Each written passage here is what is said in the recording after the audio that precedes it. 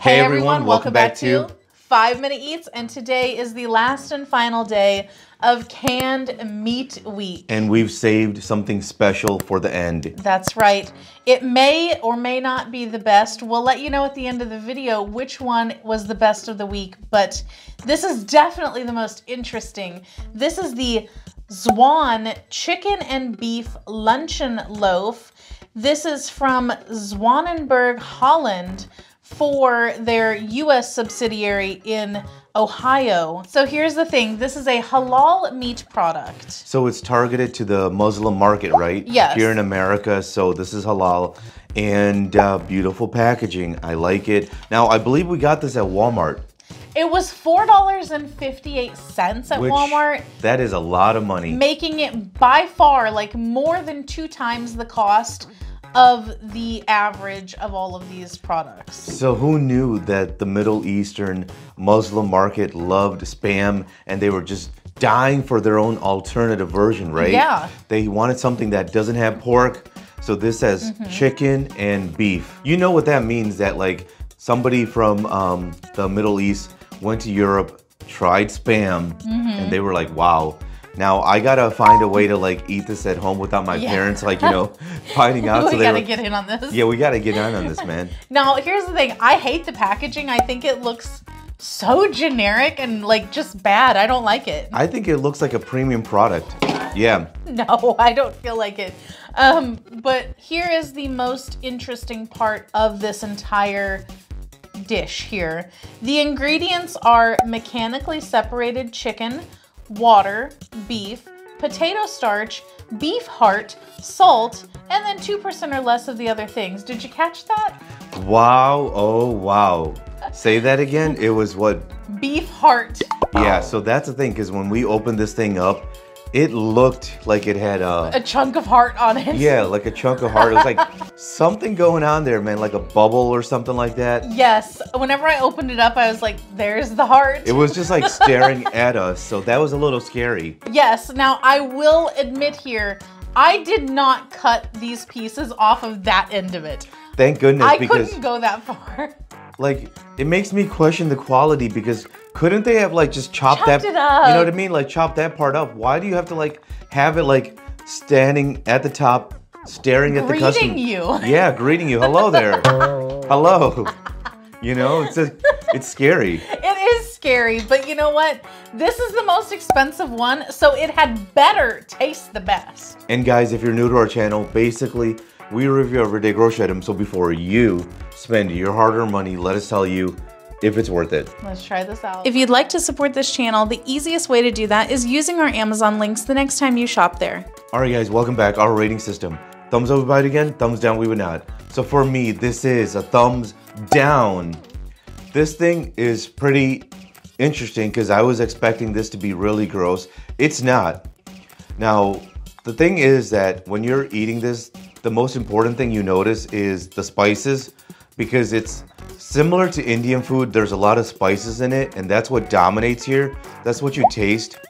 Um, you don't really get to enjoy the meat, right? Because you just, it's like all these aromatic um, smells just just hitting you and stuff, you know, and not what you're expecting with freaking luncheon meat, right?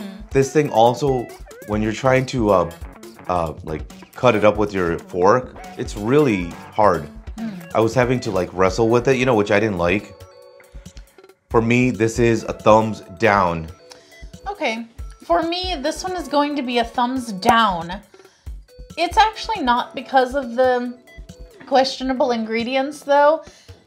Maybe, actually, a little bit. Here's the thing it is quite spiced, which is different. And I feel like it just didn't seem to go with the, the, the overall dish, you know? Like, like I think if you added those spices to spam, you'd be like, "What is this?" You know?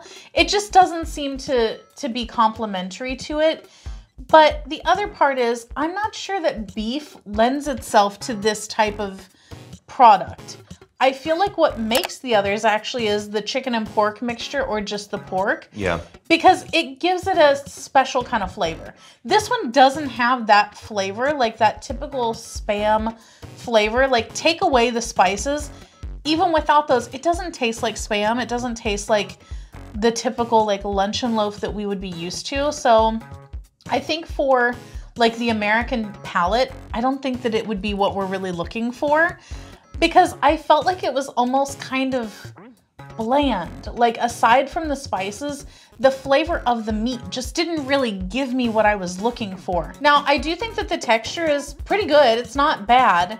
Um, it's definitely not as pate-like as it looked, but it is kind of tough. Like we heated all of these up in the skillet and I feel like heating it up the exact same amount that we would normally heat something up, it developed a thicker skin on it, which did make it more tough to cut through. But I just think that the flavor was not quite there. All right, guys, the time has come. It's the end of the week. We're gonna determine which one was our least favorite and which one was our favorite. And so for me, the least favorite was Libby's. For me as well, the Libby's. Now, interesting thing since that review is that we found out that Armour is also owned by ConAgra, who owns Libby's, and that explains why Armour didn't do as well because I thought they would win, right? But fortunately for Treet, Libby's was really bad, like to the point that I'm gonna suggest they just like shut down Libby's, just sell it off. Wow. Okay, that is very intense. Well, I feel like it was definitely the worst of the week, but now what is your best of the week? So surprising, my favorite was Martin's. Really? Yes, I like that. Even though it was a little salty than I would like it to be, I thought that was the closest, the closest to Spam. Hmm. Is that all of your Yep. remarks? Okay, for me, my favorite of the week was Martin. They, by far and away, was the most similar to Spam. Like, I would say that that was like a 99% copy of Spam, whereas the others couldn't really come much closer than like 50% similar to Spam. That's all you gotta do, just copy freaking Spam. Yes, and it's a shock because I feel like they had one of the least appealing looking packaging, but they copied Spam almost identically. But I will say, Treet would be my second because I did like the flavor of it. To sum it up on this one, thumbs down, thumbs down. And if you guys buy from Amazon, use our Amazon link. The reason is when you do that, we get 10 cents, 50 cents, possibly even a dollar, which means we can continue to review things All right, guys, that's the video. If you like what we're doing here, definitely check out our other channel, Food Prep Inc., and don't forget to give us a like and subscribe.